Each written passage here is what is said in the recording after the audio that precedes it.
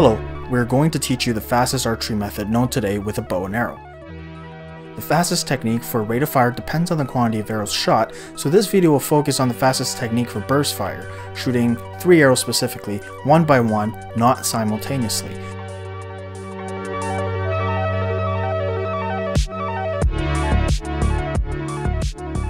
When the quantity of arrows are increased significantly to about 15 or more, shooting off of quivers will be preferred. This is because there's a limit on how many arrows you can hold in your hands. This video will focus on the fastest technique for shooting specifically three arrows. This specific technique is inspired by historical sources of archery, but the focus of this video is the fastest archery technique, not how historically accurate it is. I also have Mack and Martin here. Both are very experienced in this style of archery with powerful bows and accuracy. Thank you very much for the footages and permission. Please check them out at the end of the video. So let's break down the technique. First, let's start with the bow. For the choice of the bow, most bows are suitable for this technique. However, the best bows for the fastest technique avoids modern compounds and modern Olympic bows with arrow rests, modern sights, and stabilizers. These extra devices will slow you down and you don't want that when you want to speed shoot as fast as possible. The optimal bow here is a short and light bow without an arrow rest. Although longbows can be used as well, they are more cumbersome to move around with because this technique is usually combined with running or walking, so a shorter bow is typically preferred. The ideal draw weight is something you can personally pull and shoot rapidly all day. That being said, very heavy draw weights can still be used with this technique, but your rate of fire will be more limited.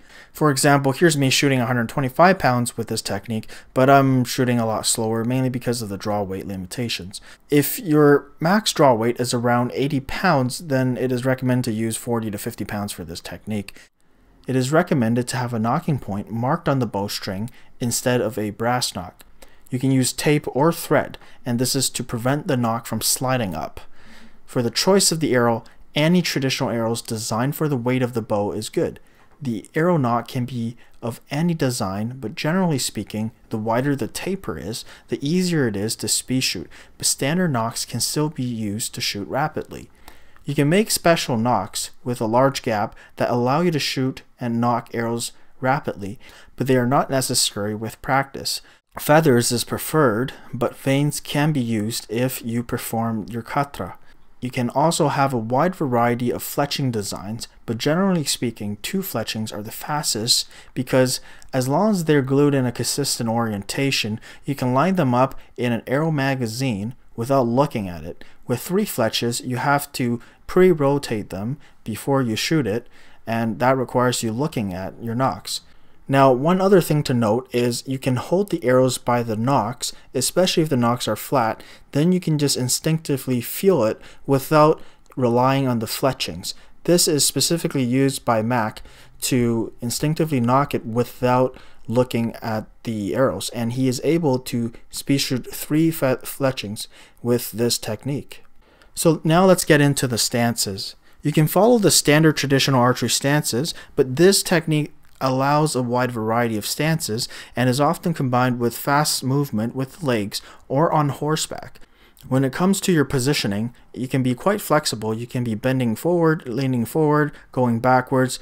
This technique is quite flexible in that context, and you can shoot 360 degrees if needed. For the bow hand, this technique tilts the bow on the opposite side of the modern trad cant. So a right-handed shooter would tilt their left hand counterclockwise, while a left-handed shooter would tilt their right hand clockwise. Basically the opposite of modern trad. Now with heavier bows, this can cause injury if you are not trained in this uh, tilt, so be careful with heavy bows. In ideal conditions, the bow arm should give clearance to the string, but this is not always possible when shooting 360 degrees while on the move. Now let's get into the draw hand, which is the most important thing, and there are many variations, and it can be debatable which variation is faster. However, there are two main variations that are optimized for the fastest speed. Let's first talk about variation 1 of your draw hand. The first one is based on the Slavic draw from the book Arab Archery. According to the book, the Slavs have a peculiar draw which consists of locking the little finger, the ring finger, and the middle finger on the string hand, holding the index finger outstretched along the arrow, but the book does not mention if the arrows are held while using this draw or how the bow is canted or anything about the release for the Slavs. However, when you use the Slavic draw, your thumb is available to grip arrows in the draw hand, so you can carry an arrow magazine. Mack prefers this technique and me as well. Um, one of the main advantages of this technique is you have a index finger that reliably provides a torque on the arrow so it keeps the arrow not falling off the shelf. This is especially important for heavy draw weights um, because you do not want to accidentally um, make the arrow fall off with a very heavy bow. With the lighter bows, this is less of an issue. The arrow is placed on the opposite side of Olympic archery and from here the arrows are nocked on the string and you place your middle finger and ring finger on the string. The pinky is often ignored by speed shooters. Now the tilt is important here to prevent the arrow falling off, but also your index finger applying that torque also helps preventing that arrow falling off. Now we're going to talk about variation 2. It's the same as variation 1 except the arrows are held in between your index and your middle finger. Martin prefers this technique. It is preferred to use two fletchings because you can easily um, put it put the arrow magazine on between your index and middle finger. You have more control with your thumb and index, but if your arrows are already two fletch, then your then this variation is more applicable. Which variation is faster? Well, that's quite debatable, um, but the difference is is fairly small. Especially for a beginner, I recommend to try out both variations. Now, there are actually a lot more variations than this, including thumb draws and other types of techniques, but generally speaking, they are slower than the first two variations explained.